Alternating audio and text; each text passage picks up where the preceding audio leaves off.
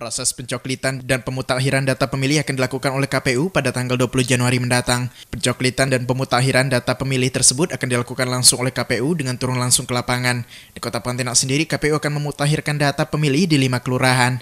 Eh, petugas pemutakhiran data pemilih kita ini, itu nanti kita akan bekalkan dengan tanda pengenal. Jadi tanda pengenal berupa tag, kemudian topi, topi PPDP, topi petugas pemutakhiran data pemilih, dan tentunya eh, berkas surat-surat lainnya yang kita serahkan kepada mereka untuk mereka bawa.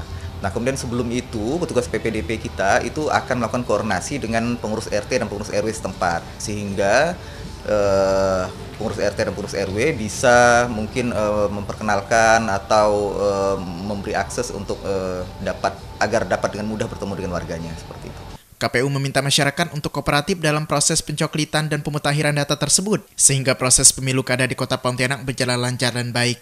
Samsul Hardi, Kompas TV Pontianak.